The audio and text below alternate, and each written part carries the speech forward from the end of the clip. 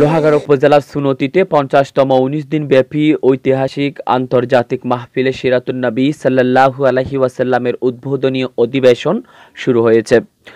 এবছর উনত্রিশে অক্টোবর থেকে শুরু হয়ে বরাবরের মতো উনিশ দিন পর্যন্ত চলবে হজরত আলহাজ মাওলানা শাহ হাফেজ আহমদ রাহমতুল্লাহ শাহ সাহেব কেবলা সুনতি কর্তৃক প্রবর্তিত।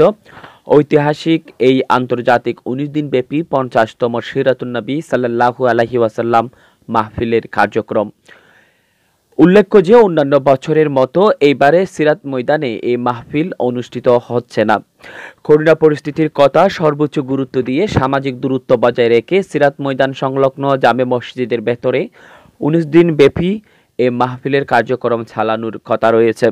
সব মিলিয়ে প্রথম দিনেই উপজেলার বিভিন্ন প্রান্ত থেকে আল্লাহ ও রাসুল প্রেমী ধর্মপ্রাণ মুসল্লিরা বিপুল ধর্মীয় বাপ গম্ভীর্য মনোভাব নিয়ে মাহফিলে অংশগ্রহণ করেন। অন্যান্য বছরের মতো এইবারে প্রচার প্রচারণা কম হওয়ায় দেশ এবং প্রবাস থেকে তেমনটা আর্থিক অনুদান আসেনি বলে জানান মাহফিল আয়োজক কমিটি।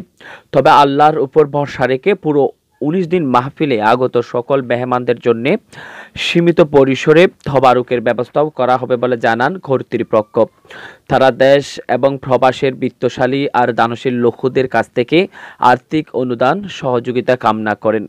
শেহাবুদ্দিন, চ্যানেল কর্ণফুলি, লোহাগাড়া।